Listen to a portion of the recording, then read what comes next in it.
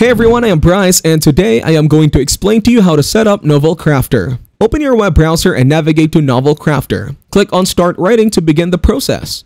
If you don't have an account, you will need to create one. You can continue with Google or use other websites. Fill in your full name, last name, username, email address, and password to create an account. If you choose to continue with Google, select your Google account and click on Continue. Scroll down and click on OK, I got it to acknowledge the information. If you plan to use AI in your writing process, select Yes, I want to use AI. Otherwise, you can choose I want to explore for now. Select I want to start fresh if you are starting a new novel. Enter the title, author or pen name, series information, and description for your novel. Click on Novels and then Create Novel. Once the novel is created, click on Create First Scene. Enter the scene title, label, point of view, language, and tense. Click on metadata to enter metadata for your novel. Upload a cover for your novel by clicking on Upload your cover and selecting the cover from your device. Crop or adjust the cover as needed and click on Writing. Explore the different features and options available for writing. Click on Scene Status to organize your scenes by status. Users to collaborate on your novel. Go to Export to export your novel data into multiple formats such as Word and Markdown. Select the desired export options and click on Export. Save the exported file to your device by clicking on Save.